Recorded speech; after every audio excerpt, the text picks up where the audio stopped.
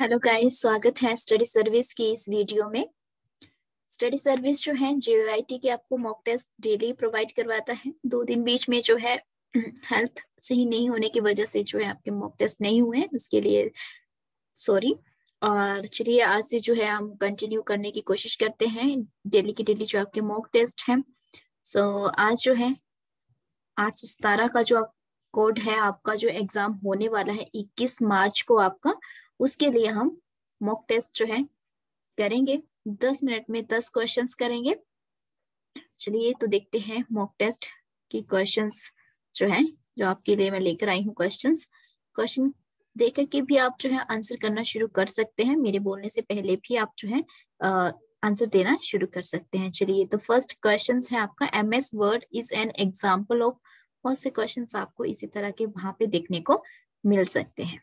चलिए first question है आपका M S word is an example of तो जो आपका एम एस वर्ड है, वो किसका एग्ज़ाम्पल है? यहाँ पे ऑप्शन है आपका एन ऑपरेटिंग सिस्टम सेकंड है प्रोसेसिंग डिवाइस थर्ड है एप्लीकेशन सॉफ्टवेयर और फोर्थ है एन इनपुट डिवाइस तो आपने सही आंसर जो है आपका, वो क्या रहेगा? वो रहेगा आपका application software option number three जो है, वो आपका यहाँ पे सही आंसर है एप्लीकेशन सॉफ्टवेयर का ही जो है आपका एम एस वर्ड जो है एग्ज़ाम्पल होता है और ये एम एस वर्ड एक ऐसा टॉपिक है आपका जहाँ से आपको बहुत से क्वेश्चन मिलेंगे। M S topic, M S word हो गया आपका पावर पॉइंट हो गया आपका, ठीक है, एक्सेल है आपका, इन्हीं में से लगभग जो है तीस क्वेश्चन आप देख सकते हैं। डायरेक्ट आपको देखने को बहुत सारे क्वेश्चन यहाँ से मिलने वाले हैं। चलिए नेक्स्ट क्वेश्चन की ओर चलते हैं। तो नेक्स्ट क्वेश्चन है हमारा सेकंड क्वेश्चन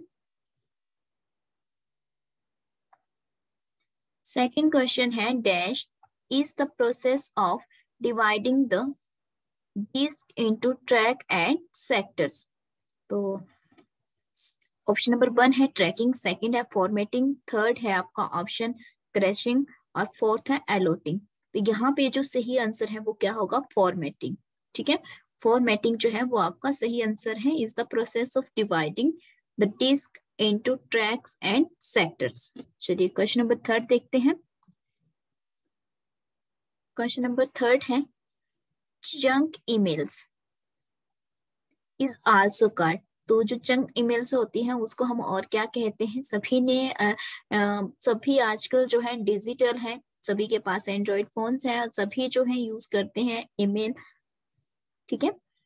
तो जब भी आप देखते हैं कि कोई ऐसी चंक फाइल्स होती है, वो कहाँ चली जाती है? आपकी स्वयं में चली जाती है, ठीक है? जो आपको शो नहीं होती है, बाद में आप इसको ओपन करके देख सकते हैं। तो इंटरनेट से रिलेटेड भी आपको बहुत से क्वेश्चन देखने को मिलने वाले हैं। ओके चलिए क्वेश्चन नंबर फोर्थ देखते हैं। तो क्वेश्चन नंबर फोर्थ है हमारा by default your document print in dash mode जब आपका कोई भी डॉक्यूमेंट जो है, अगर वो अगर हम कहें कि उसको डिफ़ॉल्ट कर दिया जाता है और प्रिंट मोड में जब जाना होता है उसको डिफ़ॉल्ट जब करते हैं तो उसको क्या कहते हैं अब तो क्वेश्चन नंबर फोर्थ का क्या आंसर है आपका? ऑप्शन नंबर सेकंड जो है वो आपका सही आंसर है, ठीक है? चलिए नेक्स्ट देखते हैं। क्वेश्चन नंबर फिफ्थ है आपका। The first mechanical machine computer design by वेबचार्ज बेवेस ठीक है? इट वाज कॉल्ड तो जो चार्ल्स बेविस हैं आपके, उनके द्वारा जब आपका पहला यांत्रिक जो है जो भी आपका, जिसे आप, जो मैकेनिकल कंप्यूटर जो है आपका, उसको जब डिज़ाइन किया गया तो उसको और क्या कहा गया? ऑप्शन नंबर, जल्दी से बताएँगे मेरे को कौन सा सही होगा। यहाँ पे जो है चार ऑप्शन है सुपर कंप्यूटर है, कैलकुलेटर है, एनालिटिकल इंजन है ठीक है तो इस तरह से जो है चार ऑप्शन है यहाँ पे। इसमें जो सही है आपका, वो आपका सही आंसर जो है ऑप्शन नंबर फोर्थ है एनालिटिकल इंजन जो है उसको कहा गया। ऑप्शन नंबर फोर्थ सही। चलिए क्वेश्चन नंबर सिक्स देखते हैं। आज थोड़ी सी मेरी साउंड भी जो है थोड़ी सी धीमी है। ठीक है तो आई होप आप मैनेज करेंगे कॉपरेट करेंगे। चलिए ऑप्शन नंबर सिक्स है इन एम आई सी आर पहली बात तो आपको इसकी फुल फॉर्म पता होनी चाहिए, ठीक है? अगर नहीं पता है तो इसकी फॉर्म फुल फॉर्म पता करिए। सी स्टैंड फॉर तो आपने इसमें बताना है कि जो आपका ये वाला सी है, इसका क्या मतलब है यहाँ पे, ठीक है? ऑप्शन है कोड कलर कंप्यूटर करेक्टर्स इसमें जो सही आंसर है, वो क्या है? करेक्टर जो है, वो आपका सही आंसर है ऑप्शन नंबर फोर